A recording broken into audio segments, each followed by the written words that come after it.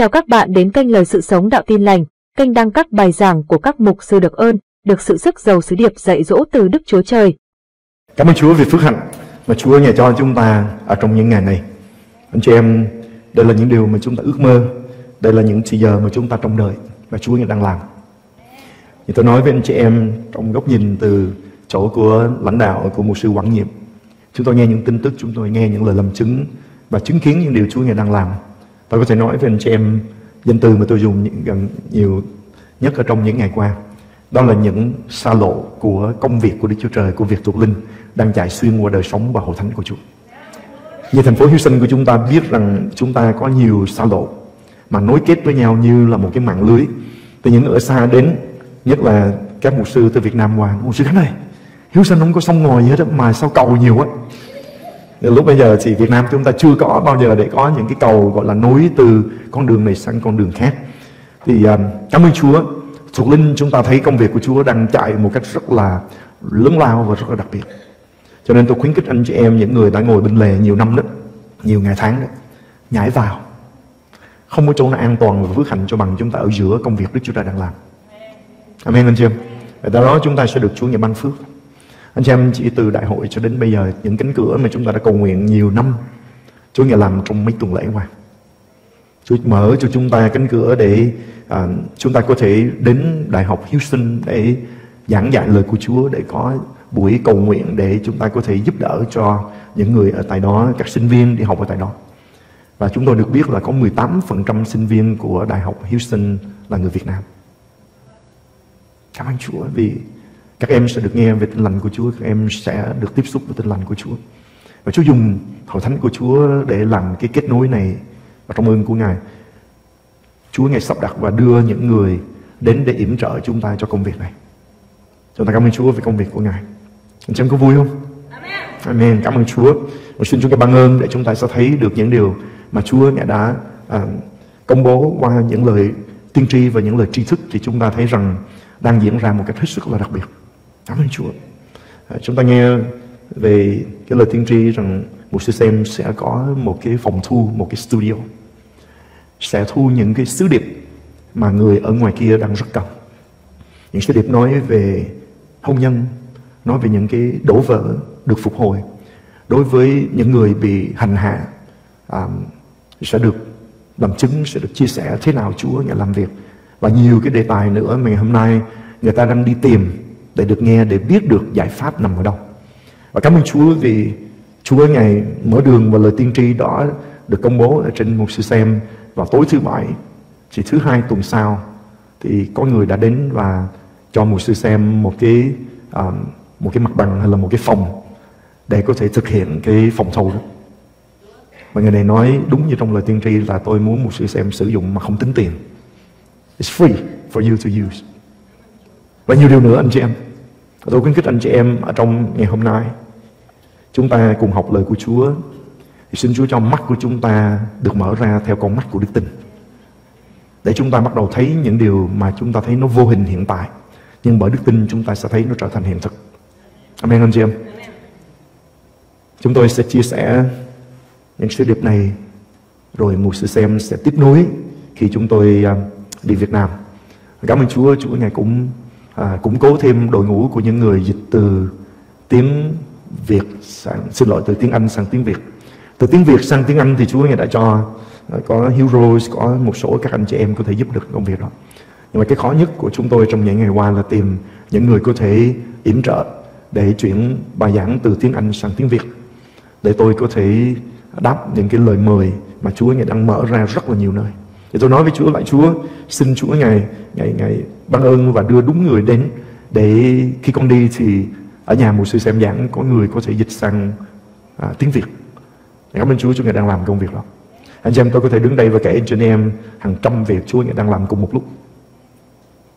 Chúa đang vận hành một cách rất là rõ ràng rất là lớn lao ở trên hội thánh của Chúa. Tôi biết cái điều nào khác khiến cho anh chị em trở nên vui mừng hơn là chuyện này thì à, à, chắc là chúng ta phải phải đổi cái môi trường nhưng mà đây là điều mà chúng ta cầu nguyện và chúng ta vui mừng vì biết rằng Chúa đang ở đây và đang hành động ở giữa chúng ta một cách lớn lao. Amen. Amen. Xin Chúa ngài ban phước.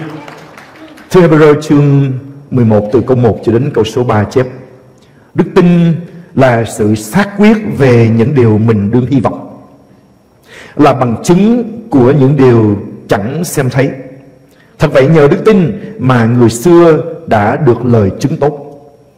Bởi đức tin, chúng ta biết rằng vũ trụ đã được dựng nên bởi lời của Đức Chúa Trời. Đến nỗi, anh chị em để ý điều này, Những vật thấy được hình thành từ những vật không thấy được. Những vật mà bây giờ chúng ta có thể thấy được, Nó hình thành từ những vật không thấy được. Và làm sao nó xảy ra? Bởi đức tin. Cho nên sáng hôm nay tôi mời anh chị em chúng ta cùng suy nghĩ và trong những ngày sau đây chúng ta cùng suy nghĩ, xin Chúa nghe giúp đỡ để chúng ta sẽ có loại đức tin mà đã bày tỏ ra ở trong Hebrew chương 11 này. Tất cả những con người đã làm nên những công việc vĩ đại cho vương quốc của Đức Chúa Trời và cho nhân loại là những người bước đi trong đức tin. Cho nên mỗi cơ đốc nhân của chúng ta chúng ta phải có câu trả lời đó là đức tin là gì và đức tin có thể làm gì. Nếu đức tin là điều quan trọng, chúng ta cần phải biết đức tin thật là gì. Và xin Chúa cho để mỗi một chúng ta, Trước khi chúng ta rời phòng thờ phượng ngày hôm nay, Rời nhà Chúa ngày hôm nay, Chúng ta ra về có một đức tin thật.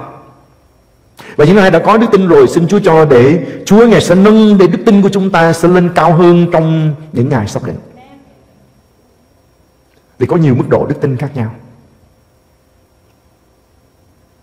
Thiếu vắng đức tin không có gì có thể kết quả được. Không có đức tin không có sự cứu rỗi. Không có đức tin không có sự chữa lành. Người đàn bà bị bệnh nước huyết Có đức tin đến độ bà nói rằng tôi chỉ rờ được áo của Chúa Thì tôi sẽ được lành. Và đó là tiếng nói của đức tin khiến cho bà được chữa lành ngay tức khắc. Bà rờ đến áo của Chúa Thì quyền năng toát ra từ Ngài chạm đến thân thể của bà. Bà nghe huyết đã đã, đã, đã, đã, đã chảy ở trong người của bà Từ 12 năm qua. Không có gì có thể cầm được Ngay tức khắc được cầm Bởi vì cái rờ chạm của đức tin của bà. Cảm ơn Chúa. Không có đức tin Không có sự đắc thắng nếu chúng ta muốn kinh nghiệm sự đắc thắng trong đời sống của chúng ta Chúng ta phải có đức tin. Chúng ta không ngồi và chúng ta nói rằng Ôi một sư ơi, ôi hội thánh Xin cầu nguyện giúp cho tôi, tôi yếu đuối quá. Có đức tin chúng ta sẽ kinh nghiệm sự đắc thắng. Vì chúng ta đã được thắng ở trong Đức Chúa Jesus Christ rồi. Chúng ta có thể đi đến kết luận không có đức tin Không có điều gì có thể xảy ra được. Cho nên đức tin rất là quan trọng. Mỗi người trong chúng ta cần phải có đức tin. Đức tin cho sự cứu rỗi mà chúng ta có được thì chúng ta mới được là người nhà của Đức Chúa Trời. Rồi sau khi chúng ta tin Chúa thì Chúa ngày muốn đức tin của chúng ta mỗi ngày một gia tăng. Để rồi chúng ta sẽ có một cái đức tin dời núi. Đức tin mà chúng ta thấy người chết có thể sống lại. Và thư Hebrew chương 11 này cho chúng ta thấy rằng có những người đàn bà, có những người phụ nữ bởi đức tin mà thấy người nhà của mình được gọi sống lại. Chúng ta còn nhớ người đàn bà quá tại thành Sunem không? Con của bà, là đứa con được Chúa ngày ban phước. Khi nó lớn lên, Một ngày nó đi ra Ruộng nơi cha của nó đang làm việc. Đi ra, Xong nó than phiền với cha, Nó đầu của con đau đằng đầu của con đau Ông cho người dắt nó về nhà. Nó về đến nhà, Nó nằm ở trên đùi của mẹ Nó một chút nó chết. Người đàn bà này không kêu chồng của mình về Và mọi người trong nhà chuẩn bị để đem chôn cái đứa trẻ này thì bà nghe có cái lời của Chúa đã đến với người của Đức Chúa Trời rằng bà sẽ có một người con trai. Bây giờ bà có nó rồi, nó còn trẻ, không thể chết được. Bà bảo hãy sắm sẵn đồ cho bà để bà đi và gặp người của Đức Chúa Trời. Chồng của bà hỏi mọi việc bình an, bà nói rằng bình an. Mặc dù con chết, nhưng mà bà công bố tiếng nói của Đức Tin bình an. Khi đầy tớ của tôi, người của Đức Chúa Trời đến đón bà, hỏi mọi việc bình an, bà nói bình an. Và khi người của Đức Chúa Trời hỏi, Bà cũng trả lời bình an, Mặc dù chưa có sự bình an. Nhưng mà công bố trong đức tin Thì bà thấy rằng con của bà sẽ được sống lại. Như lời bài hát chúng ta hát ngày hôm nay, Chúng ta nói với sóng gió và bão tố Phải yên lặng như tờ. Bởi đức tin thì nó sẽ nghe lời chúng ta. Chúng ta hãy nói với những bão tố trong cuộc đời của chúng ta, Hãy yên lặng. Trong danh Đức Chúa Jesus Christ, Tất cả những bão tố này dừng lại, Nó sẽ vâng lời chúng ta. Còn nếu chúng ta nói cách khác ôi, đời sống bị bão tố nhiều quá. Ôi, bão tố nó đánh mình tơi tả. Rồi chúng ta dừng lại từ đó, thì chúng ta chỉ là những người than phiền, chứ không phải là những con người của đức tin. Khi chúng ta bước vào trong hội thánh, đi vào trong nhà thờ, chúng ta nói, ôi, sao như thế này, như thế kia? Chúng ta là những người complain, những người than phiền. Nhưng mà khi chúng ta thấy những cái điều gì đó, nó không xứng đáng, nó không thể xảy ra được ở trong hội thánh, chúng ta công bố trong danh Đức Chúa Jesus Christ, mọi việc phải được tốt đẹp nhìn vào trong hôn nhân của mình, nhìn vào trong đời sống của mình, khi chúng ta thấy những điều nó không đúng theo như lời của Đức Chúa Trời, chúng ta có quyền để công bố cột trói những điều đó và mở phước hạnh của Ngài ra, vì Chúa Ngài cho chúng ta khả năng đó, miễn là chúng ta bởi đức tin sử dụng thẩm quyền mà Chúa ban cho. Cột trói những gì cần phải cột trói, mở những gì cần phải mở và Chúa nói rằng, những gì chúng ta cột ở dưới đất này, Chúa Ngài cũng sẽ cột trói trên thiên đàng. Những gì chúng ta mở dưới đất này thì Đức Chúa Trời Ngài cũng sẽ mở trên thiên đàng. Đức tin là điều hết sức quan trọng đức tin mang lại sự báo cáo tốt lành. Mà không có đức tin thì chúng ta, tối ngày chúng ta sẽ báo cáo những tin tức bất lợi. Nơi nào có kết quả tốt đẹp trong vương quốc Đức Chúa Trời, chúng ta biết rằng đó là bông trái của đức tin. Hãy nhìn khắp thế giới cũng như trong Kinh Thánh, Nơi nào có những anh hùng của đức tin, Chúng ta thấy những việc lớn lao xảy ra. Như vậy mỗi một người trong chúng ta Phải kiện toàn đức tin của mình là như vậy. Đức tin là điều kiện phải có trong đời sống của mỗi cơ đốc nhân mọi kỳ công ghi lại ở trong Hebrew chương 11 này là kết quả trực tiếp của đức tin Và trong những ngày sắp đến, chúng ta sẽ học chương này Từ nhiều góc cạnh khác nhau để chúng ta rút tỉa những bài học Ước mơ của chúng tôi là đức tin của chúng ta sẽ được Đức Chúa Trời nâng cấp. Anh chị em có nhớ lời công bố trên chúng ta năm nay là năm mà lịch của người Do Thái đã bắt đầu hôm tháng 9. Năm của sự nâng cấp. Năm của sự bồi hoàn. Cảm ơn Chúa. Những người nghe mà không có đức tin nó, lịch Do Thái chuyện đó nó ăn nhậu gì chúng tôi. Và chúng ta phủi, chúng ta bỏ đi và chúng ta tiếp tục Đời khổ lắm Khó khăn lắm Và chúng ta tiếp tục ở trong cái chỗ đó Chúng ta sẽ tiếp tục ở trong sự đau khổ của mình Vì lời Đức Chúa Trời công bố ra Chỉ của những người đón nhận Và bởi đức tin hành động dựa theo nó mới được kết quả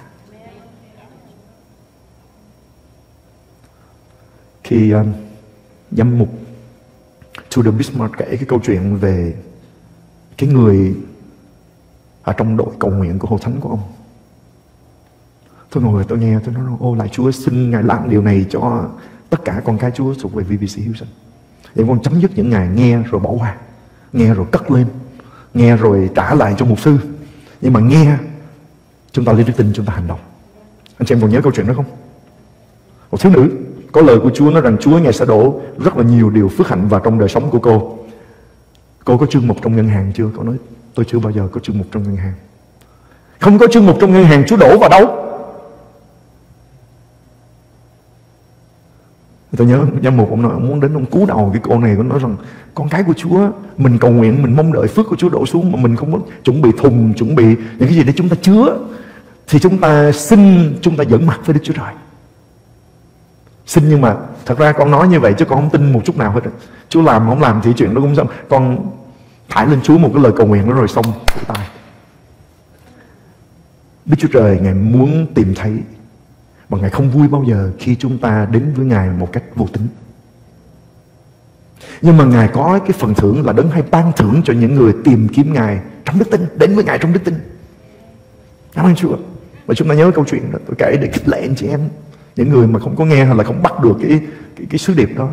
Cô này Ngày hôm sau vâng lời và lấy đức tin đi ra mở một chương mục ở tại ngân hàng. Mặc dù lúc đó cô chưa có tiền. Nhưng chúng ta đã nghe nhiều câu chuyện về những người đã được lời tiên tri của Chúa. Có một cặp vợ chồng nhiều năm sinh cho có con mà không có con được. Tôi nhớ khi trong sự sức giàu của Chúa tôi bước xuống họ đang ngồi ở bên phía tay phải của tôi tức là bên tay trái chị em và tôi nói với họ là Chúa sẽ cho họ sanh đôi mà là điều khác biệt của cặp vợ chồng này đối với những người khác. Rồi tôi nói thêm là sẽ là một đứa con trai, một đứa con gái. Là tiên tri đó được một diễn giả khác xác nhận điều đó ở trong phòng làm việc của tôi, trong văn phòng của tôi. Thế anh chị này về làm một công việc rất là đặc biệt. Họ về, họ chuẩn bị hai cái giường. Một cái màu xanh, một cái màu hồng. Ở Mỹ này màu xanh là cho con trai, màu hồng là cho con gái. Rằng Phòng này sẽ tiếp đón hai đứa con sanh đôi của chúng tôi. Chúng ta trở lại câu chuyện nó sao. trở lại cái cô này cô đi ra cô mở một chương mục ở ngân hàng thì lại gặp một người thanh niên khác ở trong hội thánh cũng nghe lời của giám mục chạy ra mở một chương mục ở ngân hàng hai người này không có gặp nhau, chưa biết nhau trước đây, nhưng mà ngày hôm đó họ được gặp nhau. Họ tìm hiểu rồi đi đến hôn nhân. Cảm ơn Chúa. Và hai cái chương mục mà họ đã mở ra đó, sau đó được xác nhận lên là một. Và cặp vợ chồng này trở nên người, một trong ba người giàu có nhất của xứ Zimbabwe. Anh chị em thử hình dung nếu cái cô này cô không có vâng lời cô không có đức tin cô không đi mở cái chương mục cô không gặp cái anh này mà cổ không mở chương mục Đức Chúa Trời không đổ xuống được trên đời sống của cô Chúa sẽ đổ chỗ khác. Xin Chúa giúp đỡ.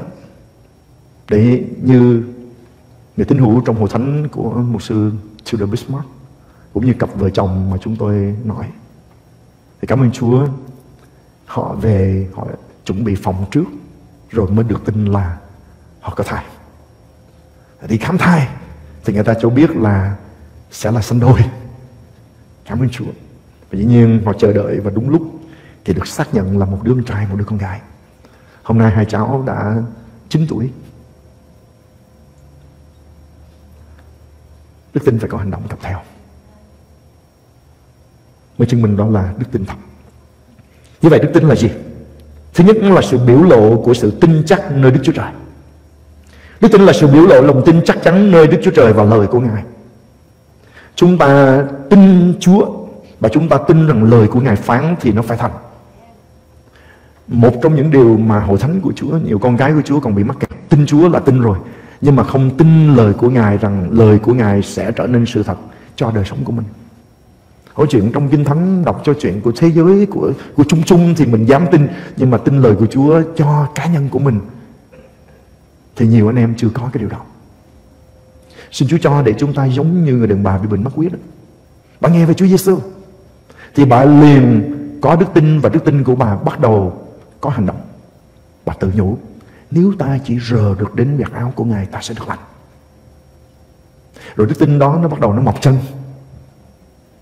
Đức tin nó phải đi. Bà đứng lên, một người bị bệnh mất huyết 12 năm, chúng ta biết rằng bà yếu lắm. Luật của cụ ước, bà đang ô uế, mà bà chạm đến ai sẽ làm cho người đó ô uế. Bà chui vào đi theo đám đông chen lấn. Và cuối cùng bà đã giới tay được, rờ được vạt áo của Chúa. Bà nhận được phép lạ mà bà mong đợi. Tin nơi Đức Chúa Trời và lời của Ngài. Hebrew chương 10 câu 35 đến 36 vậy chớ bỏ lòng tin quyết của mình, vì nó sẽ đem lại phần thưởng lớn. Cảm ơn Chúa, tin và tin quyết nha anh chị anh em cần phải kiên nhẫn để sau khi đã làm theo ý muốn của Đức Chúa Trời thì nhận được điều đã hứa cho mình. Chúng ta để ý tại đây, Hai câu này cho chúng ta một số chìa khóa tại đây. Vậy chớ bỏ lòng tin quyết của mình. Vì chúng ta có chiều hướng Ban đầu tin đấy Nhưng mà rồi chúng ta thấy hoàn cảnh xung quanh, Thấy dường như nó lâu quá chưa có xảy đến cho mình. Anh chị em, Một con chó nó có thể, Nó có mang và nó sanh con trong thời gian ngắn, Nhưng mà sanh một con voi thì nó phải lâu hơn. Có những người mong đợi những công việc mà chúng ta thấy dường như sao nó lâu quá Xin Chúa cho mình có khả năng để cưu mang việc đó. Bởi vì Chúa có thể cho mình sẽ kinh nghiệm được cái phước hạnh của Chúa theo tầm cỡ của một con voi.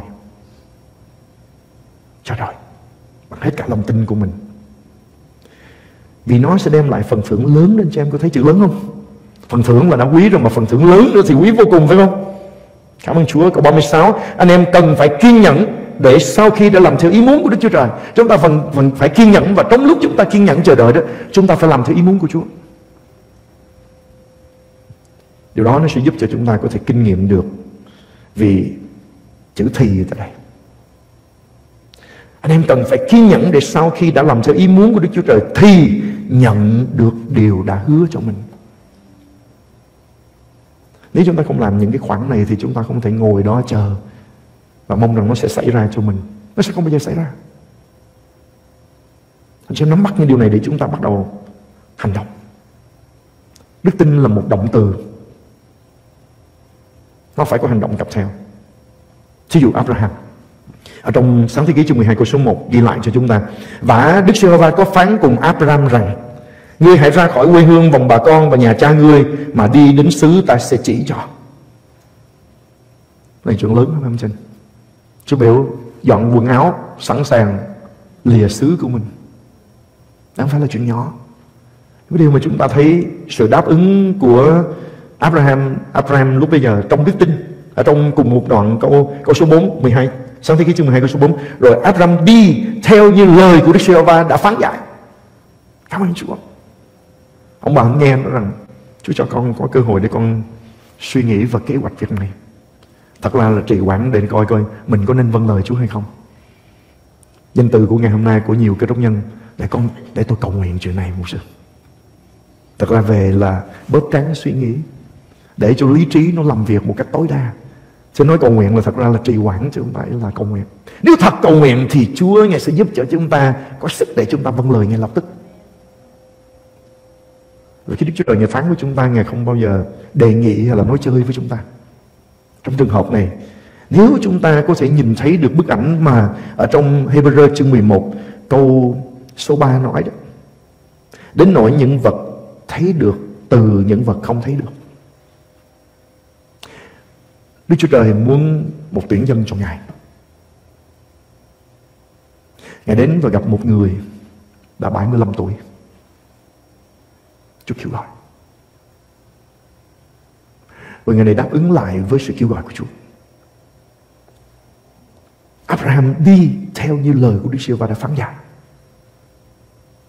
Từ cái chỗ không có, chúng ta sẽ xem thêm và chúng ta thấy được từ những cái chỗ mà có thể nói rằng không có một chút hy vọng nào nữa 25 năm sau Cái con người được gọi năm 75 tuổi này Ông 100 tuổi Thì lúc bây giờ ông mới có được cái người con của lời hứa Tại vì một dân tộc sẽ ra từ ông, Mà bây giờ ông không có con Thì làm sao nó có thể xảy ra được? Nhưng bởi đức tin thì ông đã làm cho những điều thấy được bây giờ đó, Nó xuất ra từ những điều không thấy.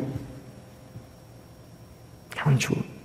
Anh chị muốn thấy những điều mà chúng ta mong đợi, thì phải có đức tin để bắt đầu thấy khi nó còn là con số không. Nhiều người trong chúng ta có thái độ Chú làm để con thấy rồi, con tin. Đó là người ngoại Người ngoại thấy mới tin. Và Chúa sẵn lòng để giúp đỡ cho họ để họ tin. Còn chúng ta là con cái của Chúa, Chúng ta tin rồi chúng ta mới thấy. Amen, anh chị em. Phải thay đổi. Chúng ta phải tăng trưởng ở trong cái chỗ này, Chúng ta phải tấn tới trong cái chỗ này. Chúng ta thấy ở trong đức tin. Và chúng ta tin. Rồi chúng ta sẽ thấy ở trong vật thể. Abraham đáp ứng lại với sự kêu gọi của Chúa và ông bắt đầu đi mà không biết mình đi đâu. Ông bước đi của đức tin. Đây là sự bày tỏ cho lòng tin chắc nơi lời của Chúa phán. Rồi có người khác, ông Noe. Một ngày kia Chúa đến và Chúa nói với Noe, đó là sẽ có một cơn nước lụt khắp ở trên mặt đất này. Cho dù đến lúc đó chưa bao giờ có mưa trên đất. Noe, Kinh Thánh ghi lại chúng ta là hằng tâm kính sợ đóng một chiếc tàu theo như điều Chúa Ngài đã phán dạy. Và đây là một cái công trình xây cất lớn lắm anh chị em. Theo như thước tất người ta đo thì nó khoảng chừng bằng hai cái sân football ngày hôm nay. Và nhiều tầng. Về thời gian ông đóng thì chúng ta không biết mà chính xác, nhưng mà theo các học giả của Kinh Thánh thì khoảng chừng 75 cho đến 100 năm.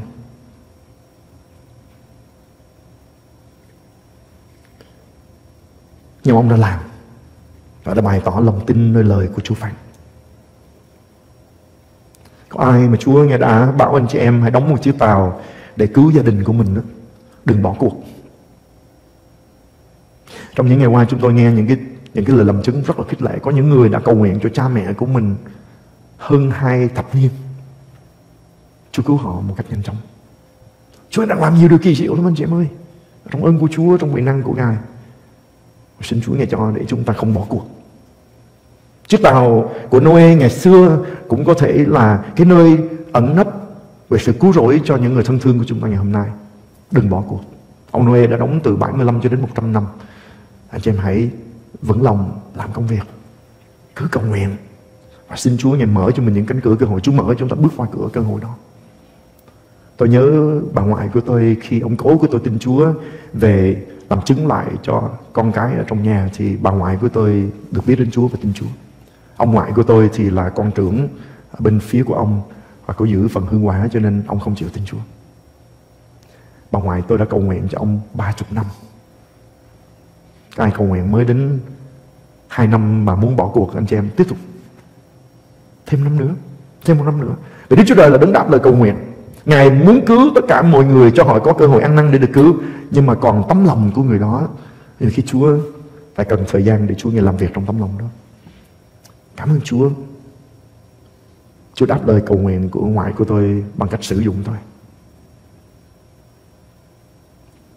Vì mẹ của tôi là con gái duy nhất của ông bà ngoại, mà tôi là đứa con trai đầu sanh ra ở trong gia đình, cho nên ông rất là thương tôi. Thì Chúa cho nhờ vào trong cái tình thương đó mà những ngày tôi đến Mỹ, thì tôi cứ viết thư về làm chứng, lời của Chúa làm chứng cho ông vì thương cháu của mình, mỗi lần mà có lá thư ngày xưa chúng ta tốn gần một tháng thư mới về tới Việt Nam. Tôi biết như vậy cho nên tôi cứ gửi gối đầu. Cho nên tuần nào ông cũng nhận được một cái lá thư. Và cuối cùng ông mở lòng tin Chúa. Ba năm sau ông qua đời. Tôi chia sẻ điều đó để kích lệ anh chị em. Đừng bỏ cuộc. Noe bày tỏ lòng tin chắc nơi Đức Chúa Trời để làm công việc rất lớn. Một công việc mà có thể nói là, là một cái cớ để người ta chế nhạo Đất lúc bây giờ mặt đất chưa có trời mưa Chưa có mùa Nhưng mà cơn mưa đó đã xảy ra đúng như lời của Chúa Ngài đã báo Và khiến cho quả địa cầu của chúng ta bị lệch Đến cái mức độ là nó có bốn mùa giống như ngày hôm nay nói về kinh nghiệm Chúa trải qua những ngày đó. Chúng ta biết câu chuyện đó rồi. Những người khác không chịu nghe lời cảnh báo của Noe. Cuối cùng chỉ có ba người con của ông, ba người con dâu, hai ông bà, dọn dàng của chỉ có tám người được cứu ở trong con tàu cứu rỗi đó. Tôi thấy là điều tuyệt vời đấy anh chị em. Bởi sự vâng lời của Noe mà nhân loại đã tránh được bị diệt chủng. sự vâng lời của chúng ta Chúa Ngài sẽ ban cho chúng ta phần thưởng lớn phần thưởng lớn cảm ơn Chúa. Sự vâng lời của chúng ta đáp ứng lại với sự kêu gọi và hướng dẫn của Chúa có thể đem lại một cái phần thưởng rất là lớn. Kết quả chúng ta có thể thấy triệu triệu người được cứu bởi sự vâng lời của chúng ta. Cảm ơn Chúa. Tôi nhớ khi Chúa gọi tôi vào trong chức vụ, thì Chúa dạy là không mang gì theo. Và thật ra cũng không có gì để mang theo. Tôi đi học trường Kinh Thánh mà phải mượn một người thân quen 600 đô la để đóng tiền học cho cái mùa đầu tiên. Và cảm ơn Chúa bởi đức tin bước đi không dám bàn với thịt và huyết nhưng mà đi theo tiếng gọi của Chúa, không thắc mắc là lỡ không có việc gì xảy ra thì sao? Đổ nợ nữa. Nhưng mà cảm ơn Chúa, tin cậy Ngài và trong 40 năm qua chưa bao giờ phải ăn mài hay là xin xỏ bất cứ ai một điều gì. Nếu tôi có lạc nguyên tiền là để giúp đỡ cho ai đó chứ còn chưa bao giờ xin cho chính mình.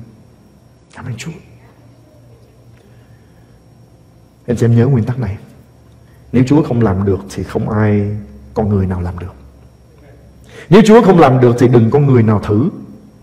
Nếu Chúa không làm được, chúng ta đời đời tuyệt vọng. Nhưng mà hallelujah, Đức Chúa Trời của chúng ta lớn có thể làm được mọi sự. Ngài là Đức Chúa Trời của mọi loài xác thịt Có việc gì là khó cho Ngài chăng? Anh chị em yêu dấu của tôi Chúng ta sẽ sang bằng núi Chúng ta sẽ lấp đầy thung lũng Khi chúng ta tin chắc nơi lời của Đức Chúa Trời đã hứa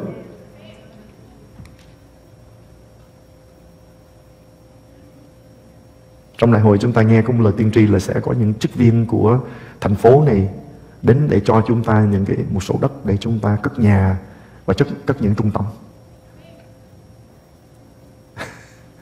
Khi nói điều đó xong thì chắc là tôi tới của Chúa cũng biết là VBC của chúng ta cũng như cá nhân của tôi sẽ hỏi tại làm sao để chuyện này có thể xảy ra, thì liền xác nhận rằng đó không phải là việc của ông, cũng không phải là việc của chúng ta. Mà nếu Đức Chúa Trời Ngài phán mà chúng ta nhận, Ngài sẽ làm. Ngài sẽ làm. Cho nên anh chị em cùng tin với tôi để chúng ta sẽ thấy những điều lớn lao Chúa sẽ làm ở trong ơn của Chúa. Đức tin chắc nơi Đức Chúa Trời và lời của Ngài cũng được thể hiện qua ba bạn của Daniel, chúng ta còn nhớ. Ở trong Daniel chương 3 câu 17 18 họ trả lời với vua như thế này. Này hỡi vua, Đức Chúa Trời mà chúng tôi hầu việc có thể cứu chúng tôi thoát khỏi lò lửa hực và chắc cứu chúng tôi khỏi tay của vua. Dầu chẳng vậy, hỡi vua xin biết rằng chúng tôi không hầu việc các thần của vua và không thờ phượng pho tượng vàng mà vua đã dựng. Một đức tin xác quyết, một đức tin nói rằng Đức Chúa Trời sẽ cứu chúng tôi. Ngay ở giữa cái lò lửa hực đó Ngài có thể cứu. Mà ông ba ông cũng xác nhận thêm một điều là nếu Chúa không cứu ra trong cái lò lửa đó, từ cái lò lửa đó thì họ vẫn tin nơi Chúa. Không thờ lại một thần nào khác hết. Mà Đức Chúa Trời ngày vui lòng về điều này chúng ta nhớ. Có thể là Đức Chúa Giêsu trong cựu ước. Một người thứ tư đã đi vào trong lò lửa đó với họ.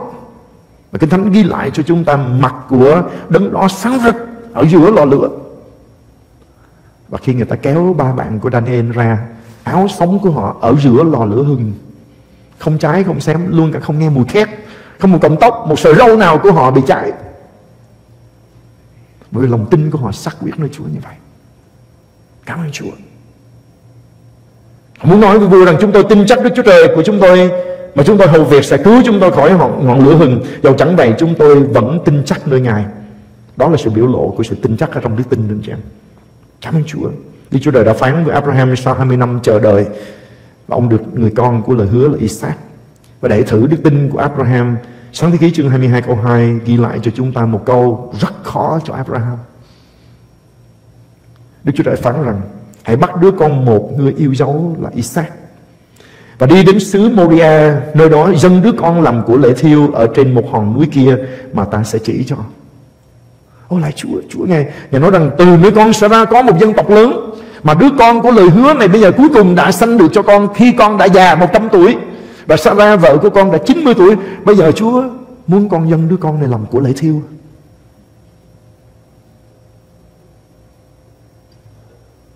Cái điều mà Abraham lúc bây giờ quý nhất, Chúa thử đức tin của ông để xem Ông có lòng tin cậy nơi Chúa hay là không.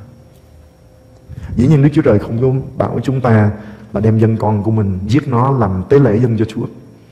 Cho nên những người mới đến sinh hoạt và thánh cảnh chị em đang tìm hiểu. Hồi nãy có nghe cô Hiếu thông báo là ngày Chủ nhật 20 tây tháng 11 có lễ dân con. Đừng nôm nớp lo sợ cái ngày đó con của mình dân cho Chúa là nha. Cái lễ dân con là cái buổi lễ chúng ta dân cái đứa trẻ cho Chúa như là biệt riêng ra để Chúa Ngài ban phước và sử dụng nó ở trong ơn của Chúa. Chứ không phải là cái buổi lễ chúng ta dân con theo như anh chị em đang suy nghĩ. Kinh Thánh ghi lại cho chúng ta Abraham vâng lời. Ông phải là một cái người chủ gia đình rất là chuẩn mực. Cho nên chúng ta không nghe có một sự phản kháng của Sarah. Nhất là đứa con sanh ra cho mình sau nhiều năm chờ đợi. Lúc mình đã 90 tuổi mà bây giờ Chúa bảo phải dâng cái đứa trẻ này. Không nghe Sarah chống đối. Ông nói cái gì ông có nghe thiệt Chúa nói không? Chúa nào mở biểu làm như vậy không có ở đây cũng là điều mà chúng ta cầu nguyện cho người phối ngẫu của mình, để có cùng một mức độ đức tin.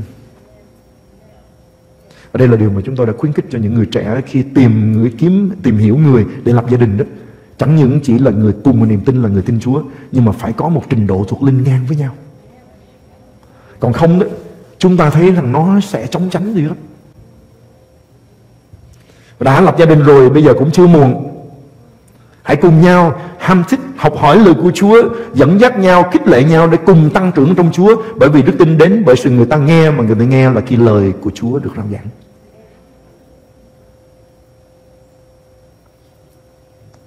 Cả vợ chồng cần phải tấn tới trong ơn của Chúa, có sự tăng trưởng của sự hiệp một trong ơn của Chúa thì chúng ta sẽ dễ dàng để nhận tất cả Thưa Hebrew chương 11 mà chúng ta đang học câu 17 đến 19 hé mở cho chúng ta điều mà Abraham tin ở trong lòng. Cho cái việc mà Chúa bảo ông phải dân con của mình bởi đức tin. Abraham dân Isaac trong khi bị thử thách. Người là kẻ đã nhận lãnh lời hứa dân con một của mình. Là về con đó mà Đức Chúa Trời có phán rằng ấy là trong Isaac mà người sẽ có một dòng dõi lấy tên ngươi mà kêu. Người tự nghĩ rằng, đây là tiếng nói của đức tin anh chị em, Đức Chúa Trời cũng có quyền khiến kẻ chết sống lại cũng giống như từ trong kẻ chết mà người đã được con của mình. Bởi tiếng nói của đức tin Abraham tin như thế này. Ông có thể dân con của mình. Và nếu việc đó nó xảy ra đến lúc mà ông dân con mà nó đã chết rồi, Đức Chúa Trời có quyền để làm cho cái người chết rồi đó có thể sống lại. Giống như ông, một ông già thân thể đã chết đối với vấn đề sinh con, Mà ông đã được đứa con này Thì Đức Chúa Trời Ngài cũng có thể có quyền Để làm cho đứa con của ông dù nó đã chết có thể sống lại. Đức tin này vững lắm phải không chị em Bởi vì ông tin nơi Đức Chúa Trời và lời của Ngài cái đức tin ông đến được cái mức độ là bởi vì ông đã nghe lời của Chúa phán với ông. Ông chờ đợi, ông cứ tiếp tục làm những điều mà Chúa ngày hướng dẫn cho ông. Và cuối cùng thì ở tuổi già, tuổi quá tuổi để sinh con Cả ông lẫn bà mà họ cuối cùng có được đứa con. Thì Đức Chúa Trời Ngài đã làm trong quá khứ, Ngài cũng sẽ làm ngày hôm nay. Ngài phán chúng ta vâng lời thì việc nó sẽ xảy ra cho chúng ta Khi chúng ta có đức tin. Amen anh chị em. Xin Chúa giúp đỡ để chúng ta thấy điều đó. Điều thứ hai, đức tin là hành động đã được cảm thúc bởi lời của Chúa. Đức tin là hành động được thúc đẩy bởi lời của Chúa. Là sự sống đến đời đức tin, Lời hàng sống có thể có một sự sống Và có một kết quả siêu nhiên. Đó lý do tại sao chúng ta là những người con cái của Chúa, Người công bình sống bởi đức tin.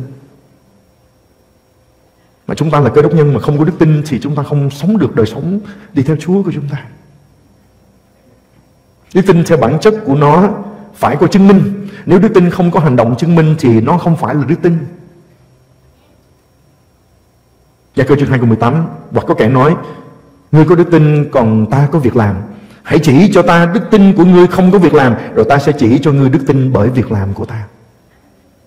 Gia cơ nhấn mạnh điều này, Đức tin phải có việc làm. Trở lại với câu 17 Về đức tin cũng một lấy Nếu đức tin không sanh ra việc làm Thì tự mình nó chết.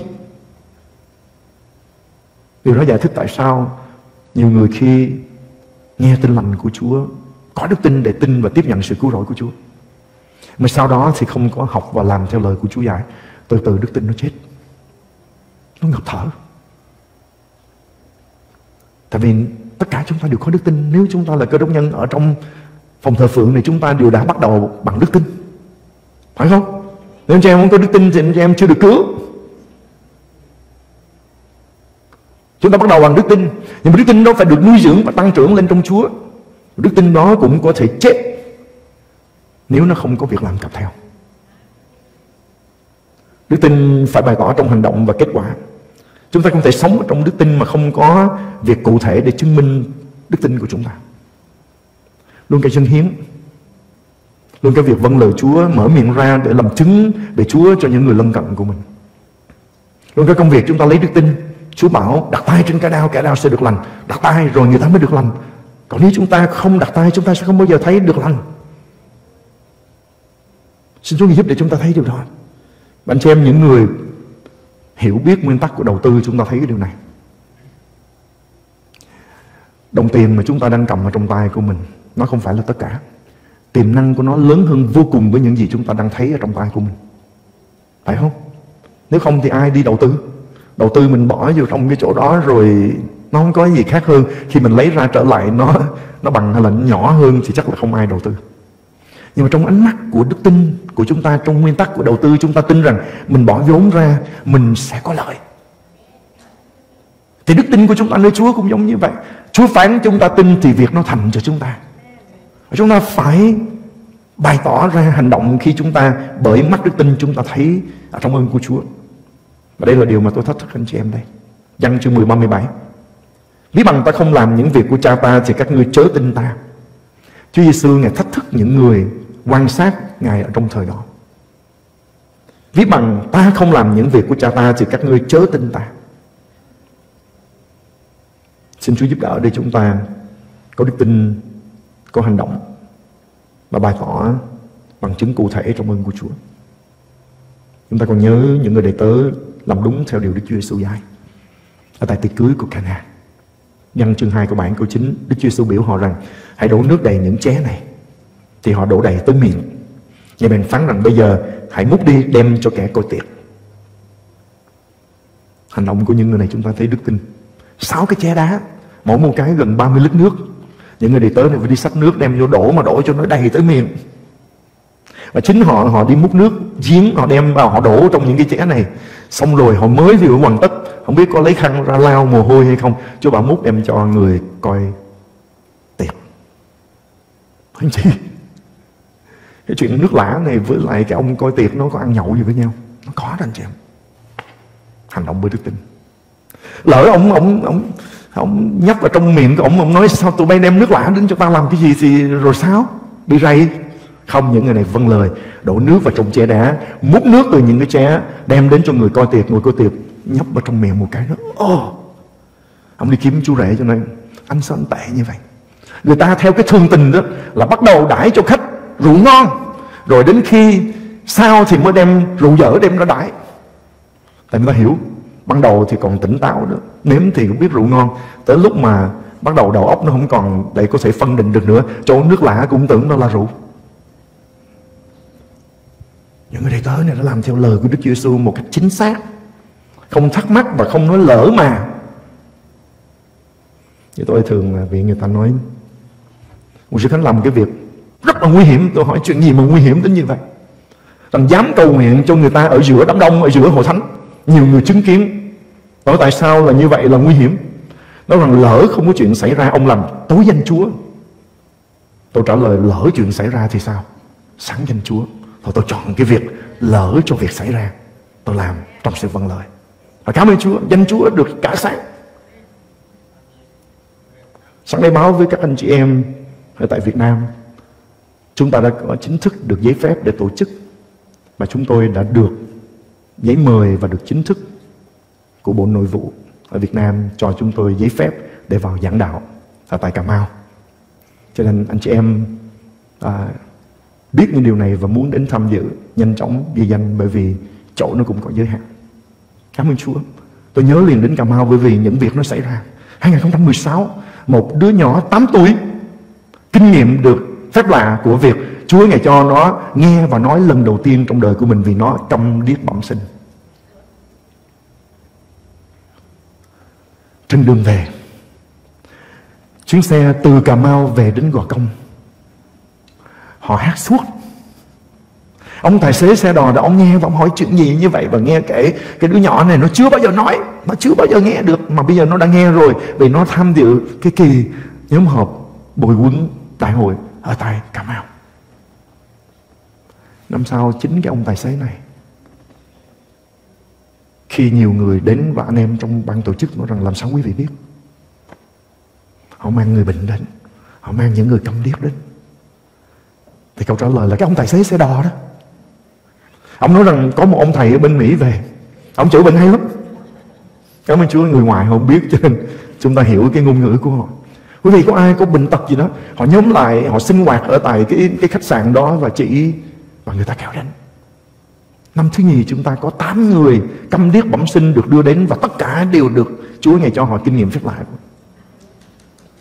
2018 số người nó đông hơn nữa có một thanh niên trong hội thánh ở tại Thiên Ái nói với tôi rằng một sư ơi, tụi con đang đi kiếm hết ở trong cái vùng này. Những người mà câm điếc để chúng con đưa họ đến vì họ có thể kinh nghiệm được phép lạ từ nơi Chúa. Sẽ vâng lời được ban thưởng mà nhiều người có thể được phước qua sự vâng lời của chúng ta. Cho nên đừng sợ những người bảo chúng ta lỡ mà, hay là chúng ta tự nói nên lỡ không có chuyện gì xảy ra thì sao? Chúng ta hãy có đức tin và nói rằng rồi lỡ chuyện nó xảy ra thì sao? Anh em muốn đằng nào? Ngồi đó để sợ rằng lỡ không có chuyện gì xảy ra. Hay là bởi đức tin để chúng ta chọn? Nếu nó là 50% thì cũng đáng để chọn, anh chị em. Nếu nó là 20% cũng đáng để chọn. Vì ít nhất trong đời của mình Mình tin Chúa. Nếu mình có thất bại trong lần đó, Cũng được biết là người dám tin Chúa. Cho những việc lớn lao của Ngài. Và nhớ điều này, Đức Chúa Trời, Ngài không bao giờ làm cho những người đặt lòng tin nơi Ngài hổ thẹn bao giờ. Chỉ có những người không tin nó mới hổ thẹn. Có những việc ở trong đời sống của chúng ta, anh chị em. Đặt lòng tin đi rồi chúng ta sẽ thấy. Không có hành động bày tỏ thì không thể chứng minh chúng ta có đức tin.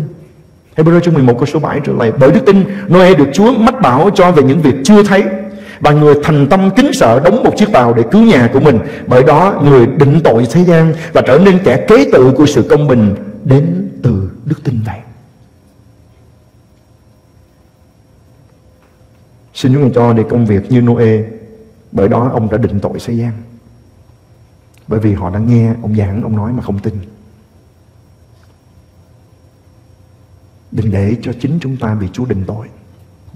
Và Chúa đòi máu của những người chưa biết Chúa mà chúng ta yên lặng về tình yêu của Chúa và tin lành cứu rỗi của Ngài. Họ chết. Vì Chúa nói rằng tội nhân nó sẽ chết ở trong tội lỗi của nó. Mà nếu chúng ta nghe và biết điều đó mà chúng ta không nói thì khi họ chết, Đức Chúa Trời sẽ đổi máu của họ ở trên tay của chúng ta.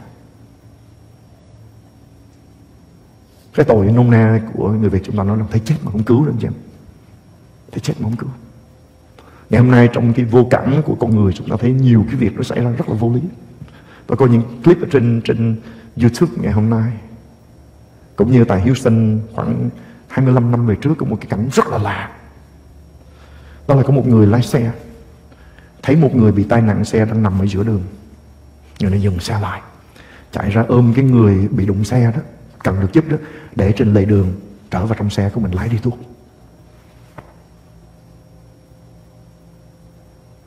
Anh sẽ nghe thấy tức không?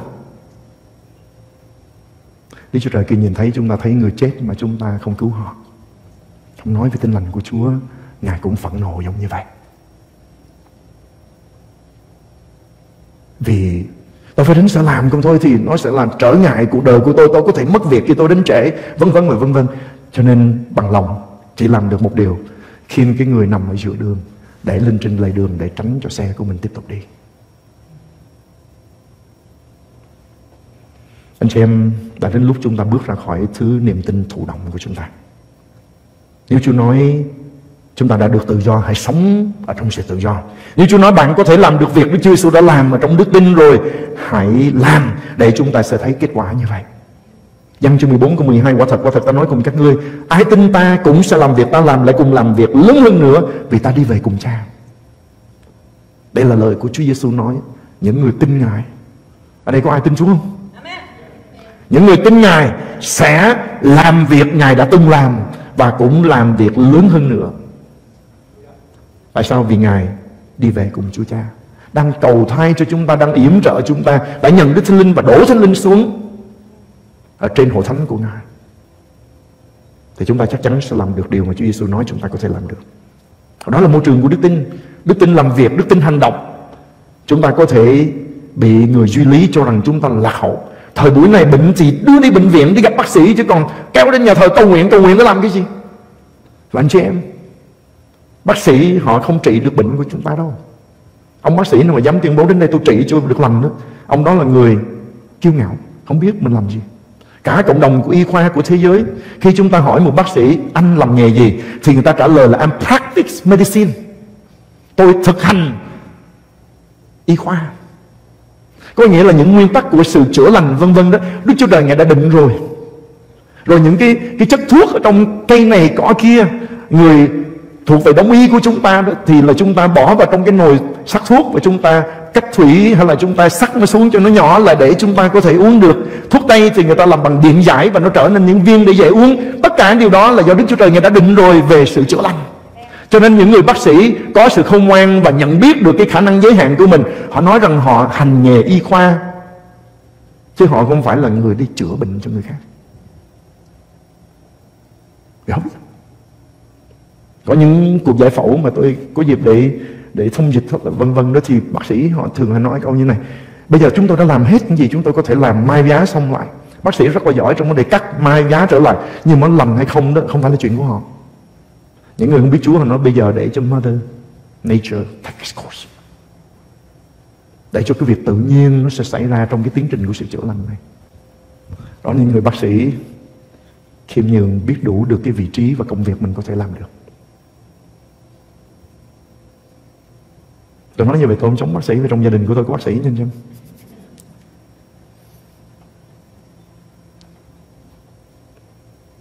Nhưng mà đấng bác sĩ đại tài Đấng tối cao mà chúng ta đặt lòng tin rằng Sự chữa lành đến từ Ngài. Đặt cho đúng chỗ Ngài có thể sử dụng bác sĩ Có thể dùng thuốc men Như là những phương tiện Như là những tác nhân Để có thể giúp cho tiến trình chữa lành được diễn ra. Nhưng chính Chúa là đấng chữa lành cho chúng ta. Cảm ơn Chúa Bất cứ điều gì bạn nói bằng tin nơi Chúa Nhớ đừng bao giờ hành động nghịch lại Kẻo chúng ta tự hủy đi, tự loại mình ra khỏi điều bạn có thể nhận được từ Chúa. Và đây nguyên tắc rất là quan trọng. Chúng ta canh chừng cái miệng của mình và giữ tấm lòng của mình. Chúng ta nói chúng ta tin Chúa điều đó. Ở tại nhà thờ gặp các anh em khác chúng ta nói Nhưng mà ra khỏi nhà thờ là chúng ta bắt đầu nói ngược lại Thế đó không phải là một người có thể nhận được sự ban thưởng từ nơi Chúa đâu Nhưng mà chúng ta giết chết cái phước hạnh của Chúa Từ trong những cái lời vô tính của chúng ta Bởi vì Đức Chúa Trời Ngài sẽ đãi chúng ta theo những điều Ngài nghe miệng chúng ta nói Lỗ thai của Chúa Chúa lắng nghe đó Chúng ta đến nhà thờ chúng ta cầu nguyện Chúa cũng nghe lời cầu nguyện chúng ta đó Rồi chúng ta ra xe chúng ta đi về Chúng ta lên điện thoại chúng ta nói chuyện với những người khác Chúa cũng nghe luôn Ngài sẽ đãi chúng ta đúng như điều Ngài nghe miệng chúng ta nói cho nên hãy công bố xứng hiệp với những điều chúng ta tin. Đức tin là sức mạnh của chuyển biến. Ephesos chương 2 câu 8 câu 9 Và ấy là nhờ ân điển bởi đức tin mà anh em được cứu. Điều đó không phải đến từ anh em Bằng là sự ban cho của Đức Chúa Trời ấy Chẳng phải bởi việc làm đâu, Hầu cho không ai khoan mình. Đức tin mang lại sự liên lạc với ân điển. Ân điển là hồng ân Chúa Ngài ban cho chúng ta như là một món quà Chúa Ngài để trước mặt chúng ta. Nhưng mà nó vẫn chưa là của chúng ta Cho đến khi bởi đức tin chúng ta đưa tay ra chúng ta đón nhận thì lúc đó chúng ta sẽ thấy có một sự biến chuyển xảy ra từ một tội nhân trở nên thánh nhân trong ơn của Chúa, từ một người ốm đau bệnh tật có thể kinh nghiệm được sự chữa lành ở trong ơn của Chúa bởi vì đức tin chạm vào với ân điển của Chúa sẽ đem lại cho chúng ta những điều phước hạnh ở trong ơn của Chúa Đức tin luôn mang lại sự đắc thắng. Chúng ta cần xem lời của Chúa và chúng ta đặt lòng tin nơi lời của Chúa, bởi vì đó là lời của Đức Chúa Trời toàn năng đã phán. Và chúng ta tin. Chúng ta hành động xứng đáng theo như đức tin của chúng ta. Sức mạnh của đức tin thắng hơn quyền lực của tối tâm, nan đề của kinh tế, của bệnh tật, của đau ốm, của xuống dốc của gia đình hoặc bất cứ những cái cản trở nào trên đất này. Đức tin sẽ đem lại sự đắc thắng cho chúng ta.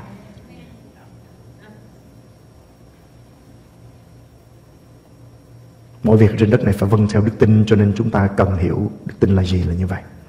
Đức Chúa Giêsu nói với phi rơ ở trong Luca chương 22 câu 31 đến 32.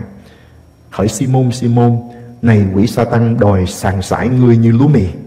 Xong ta đã cầu nguyện cho ngươi, hầu cho đức tin ngươi không thiếu thốn. Anh chị em để ý đến cụm từ hầu cho đức tin ngươi không thiếu thốn. Vậy, đến khi ngươi đã hối cải, hãy làm cho vững chí anh chị em mình.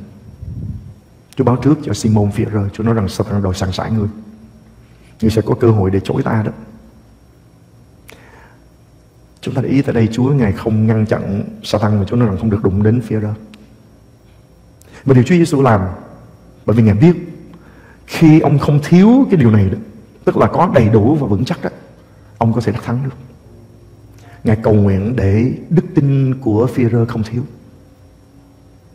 Tôi nghe ngay từ giờ này trong tâm linh của tôi, Đức Chúa Giêsu đang cầu thai cho mỗi một chúng ta để đức tin chúng ta không thiếu. Vì ngày nào chúng ta thiếu đức tin, chúng ta chết. Người công bình sống bởi đức tin Mà bây giờ chúng ta không có đức tin, làm sao chúng ta sống được? Amen anh chị em Cho đến khi đức tin của chúng ta thất bại, Chúng ta mới thất bại. Khi chúng ta mất đức tin, đời sống tâm linh của chúng ta mới mất. Trong danh Đức Chúa Giêsu người Nazareth, Tôi công bố với anh chị em, bạn không thiếu thốn đức tin. Amen. Hãy tăng trưởng ở trong Chúa, vững vàng ở trong ơn của Ngài. Đức tin là một sức mạnh thực nghiệm. Chúng ta không thể nào kinh nghiệm được quyền năng của Chúa nếu chúng ta không có đức tin.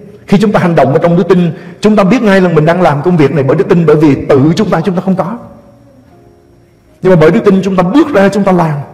Chúng ta làm những công việc rất là phiêu lưu, Làm những công việc mà trước đây chúng ta chưa từng làm. Nhưng bởi đức tin chúng ta bước ra Thì Đức Chúa Trời gặp chúng ta tại đó. Những ngày đầu mới bước đi với Chúa, mới tin Chúa. Tôi được một người đi trước hướng dẫn tôi cái điều này Và tôi luôn hình dung điều này trong tâm trí của tôi luôn luôn. Bước đi của người đi theo Chúa trong đức tin nó giống như thế này.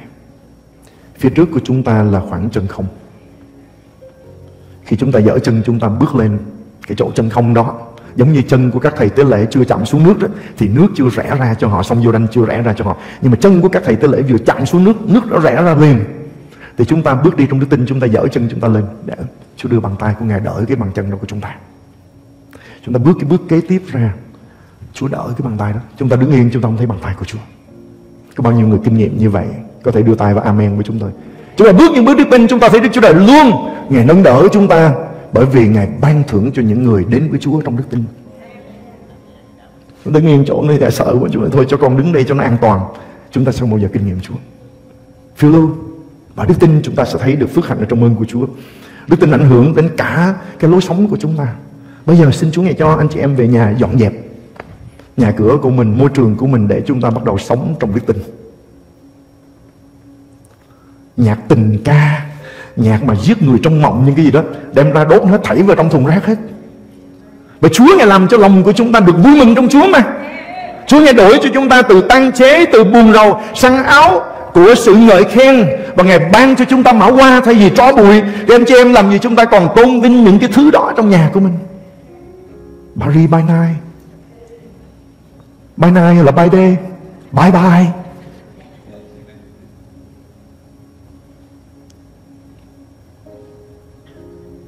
Môi trường đức tin, Mỗi ngày tôi sống là cái ngày mà Chúa, Ngài ban cho tôi Phước hạnh mà Ngài dành sẵn. Tôi sẽ vui vẻ Và tôi bước vào cái ngày này Và nói với Chúa rằng lại Chúa, xin mở cho con những cánh cửa cơ hội, Con sẽ bước qua những cánh cửa đó Để ngày hôm nay con kinh nghiệm Đức Chúa Trời của con. Cảm ơn Chúa. Những người trẻ mà tôi nói đến ở trong hội thánh của chúng ta đang được rất là nhiều phước bởi vì trong sự ban phước của Chúa, hướng dẫn của một sư xem họ đang làm công việc đó mỗi buổi sáng thức dậy, các em cầu nguyện với Chúa là Chúa xin mở cho con cánh cửa cơ hội trong ngày hôm nay.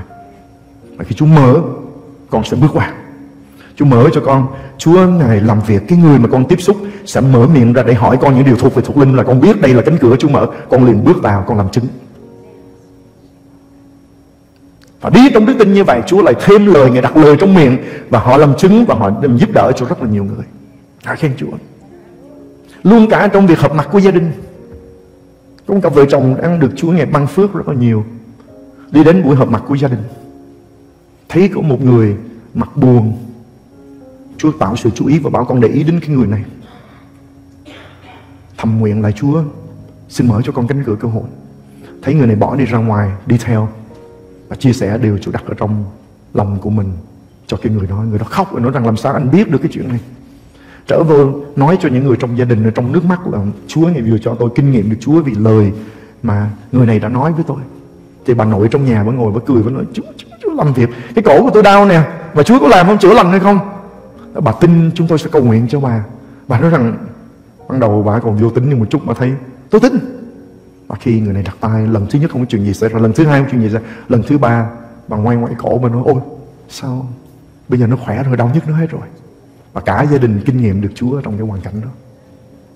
Anh chị em còn nhớ những ngày anh chị em đã làm điều đó, Tại sở làm cho những người lân cận của chúng ta không? Rồi Covid nó làm chúng ta phải giãn cách không được không được bắt tay nữa, chứ đừng nói cái vấn đề chúng ta đặt tay cầu nguyện cho người bệnh. Ngày đó qua rồi. Amen. Ngày đó qua rồi. Amen, anh chị em. Còn ai còn sống với Covid không? Đừng sợ hãi nữa. Bắt tay. Và làm việc để rồi lòng của chúng ta sẽ lại phấn khích, vui mừng vì chúng ta kinh nghiệm Đức Chúa Trời trong đời sống của chúng ta. Cảm ơn Chúa.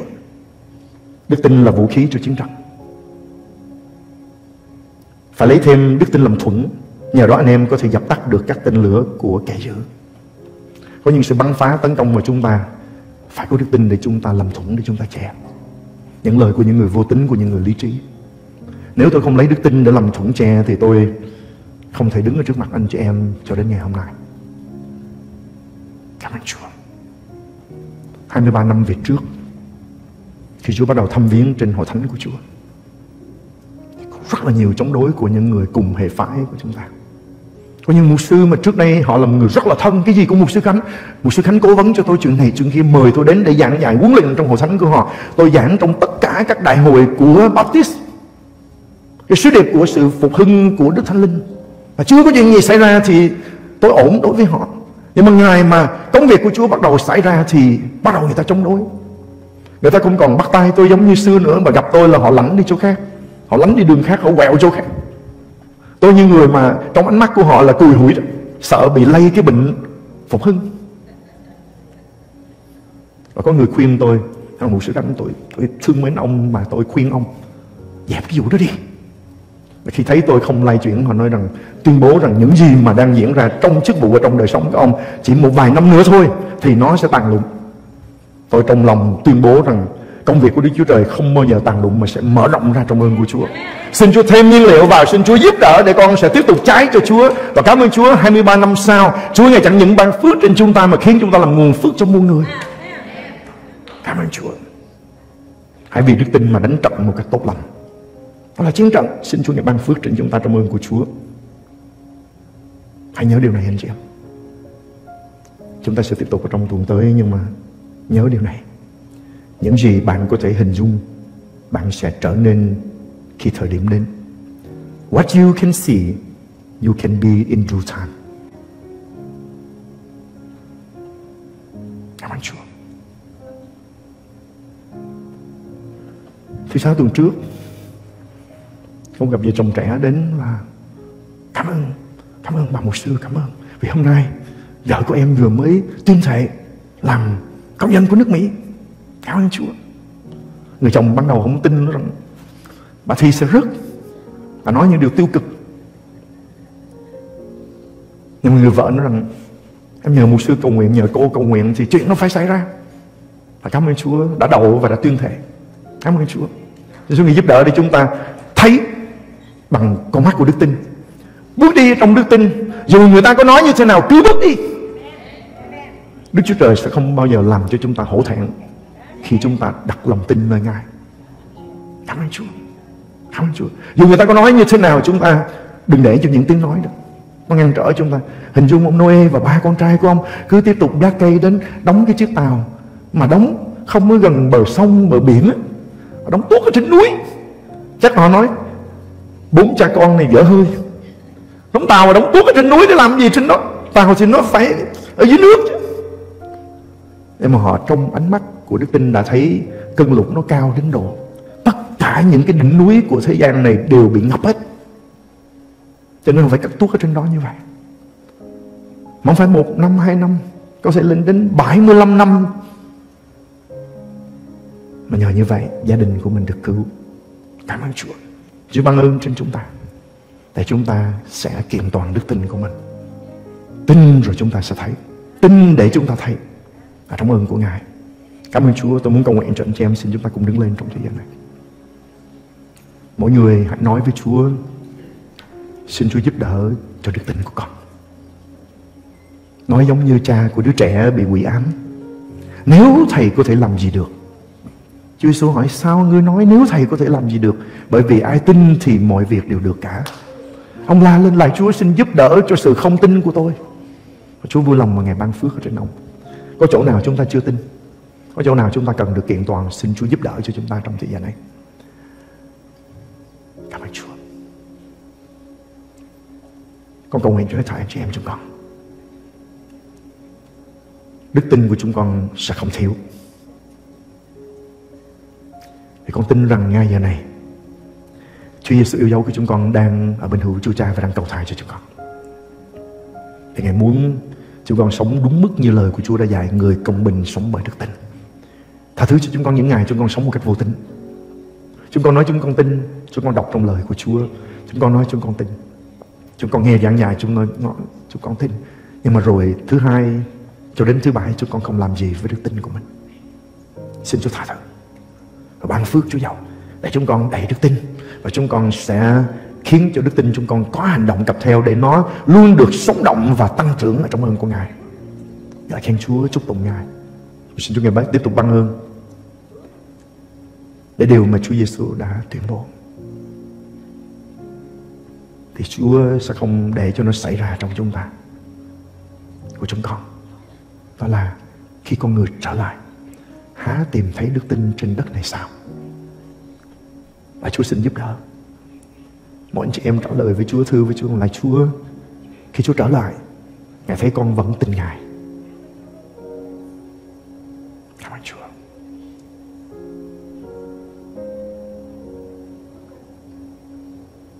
Và con xin trong thời gian này, Đức tin siêu nhiên, Đức tin để có thể thấy phép lạ Đức tin để thấy những điều kỳ diệu.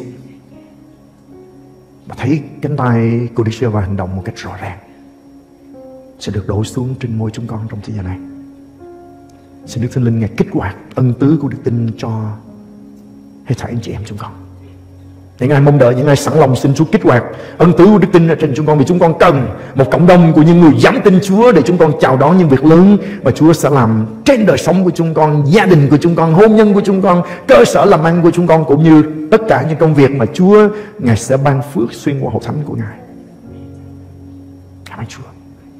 Chúng con tin và đón nhận những lời tiên tri đã công bố trên hội thánh và trên mỗi cuộc đời của chúng con. Chúng con tin và đón nhận điều Đức Chúa Trời toan định làm xuyên qua cuộc đời của chúng con và những gì Đức Chúa Giêsu đã nhắc nhở chúng con trong ngày hôm nay. Chính lời của Ngài đã phán Quả thật, quả thật ta nói cùng các ngươi Ai tin ta sẽ làm việc ta làm Và làm lớn hơn nữa vì ta đi về cùng cha. Ồ, những điều Chúa làm thật là tuyệt vời với chúng con. Cầu nguyện xin Chúa Ngài tìm thấy ở nơi đây Có những con người bằng lòng phó mình ở trong tay của Chúa Để Chúa có thể làm những việc lớn hơn nữa. Mắt mù được thấy. Tai điếc được nghe, lưỡi câm được nói. Người bại sẽ đứng dậy vác giường của mình mà đi. Chúng con thấy. Chúng con thấy ở trong đức tin. Chúng con thấy nhiều người sẽ được cứu và đổ vào trong hội thánh của Ngài. Chúng con thấy. Xin sử dụng chúng con. Trong ơn của Ngài. Để rồi mỗi chúng con sẽ từng trải kinh nghiệm Đức Chúa Trời của chúng con như chưa bao giờ có. Mỗi mối quan hệ yêu thương của chúng con với Ngài mỗi ngày một thấm thiết càng hơn. Trong ơn của Ngài chúng con cảm ơn Chúa. Tặng Chúa. Chúng con bây giờ ra về, nhưng không bao giờ bước ra khỏi sự hiện diện của Ngài. Vì chúng con chọn bước đi trong đức tin. Cảm ơn Chúa và chúng con thành kính cầu nguyện. Trong danh Chúa Giêsu Christ. Amen. Chúa ban phước cho anh chị em. Tràn đầy ơn của Chúa trong quyền năng của Ngài. Quý thính giả xem, nhớ bấm đăng ký kênh và nhấn rung chuông để không bỏ lỡ video mới nhất ra hàng ngày. Xin cảm ơn